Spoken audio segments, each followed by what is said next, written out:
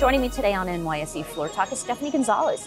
She's a director at BlackRock Business Consulting. Stefanie, it's wonderful to have you here. Thanks for joining me today. Thank you for having me. So, Stefanie, let's start off by talking about your role at BlackRock and how you work within the Wealth Advisory Group. Yeah, absolutely. So, I'm a senior practice management consultant and executive leadership coach with the BlackRock Business Consulting team. Um, and our team partners with advisory leaders um, um, across all segments and all different business platforms. And we focus on all things growth related. Um, and our team also partners very closely with the BlackRock sales partners um, and leaders across the U.S. Wealth Advisory. Um, and our intention is to help advisors, teams, firms to be able to build efficiencies in their practice, to consider growth opportunities, and also build trust with their clients, their prospects, and their teams. Stefanie, currently across the wealth ecosystem, what trends are you noticing from a perspective of clients demanding a differentiated service from wealth advisors? To put this into context, I think it's important to um, think about this great massive wealth transfer that we're seeing trillions of dollars move from one generation to the next. On top of that, we're also seeing this um, uh, trend where the money is being more concentrated, the wealth is being more and more concentrated with high net worth to ultra high net worth individuals. Um, and these clients require a unique perspective. They require um, um, uh, advisors who can help solve more complex challenges that they have. Um, and so, with that, the trend that we see typically is that the number of services or choices that these clients need and require is increasing. Um, so think about it in terms of tax minimization strategies, estate planning, trust planning, education strategies. These are all front and center for these clients. Now, the challenge is to offer more services, it will take more time. Uh, so that's sort of the paradox that we're seeing more advisors face. It's challenging also to build relationships with this next generation who is meant to inherit the wealth as well. So it's requiring a plan, it's requiring a shift in mindset, uh, and it's requiring um, uh, a different way of uh, addressing or approaching their practice.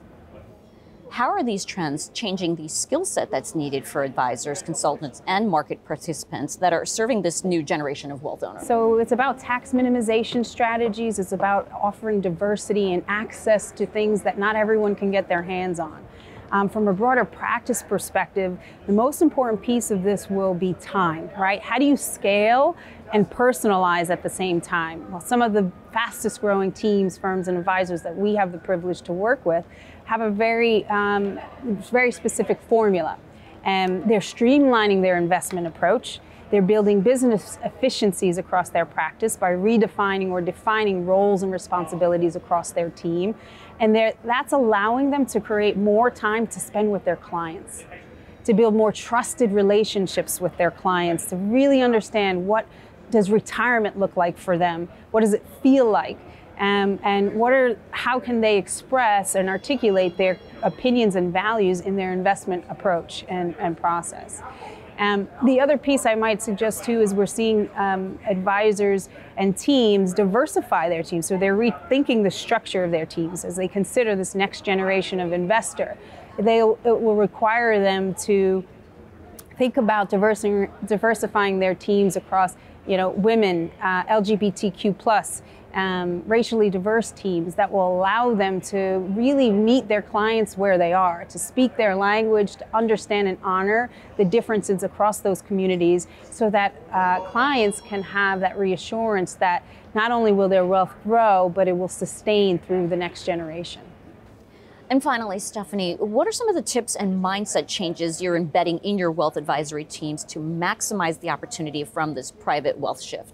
Yeah, not dissimilar to our clients, this is going to come about with um, centering on the ideal client, really defining who it is you work with and who do you not work with.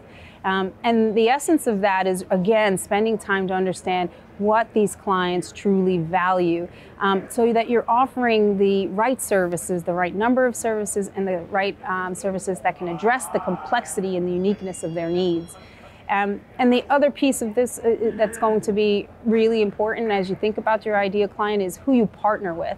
How do you build a network that complements your expertise? And we're seeing that both internally so that we can service the, the, um, this shift in mindset and shift in practice for our clients as well.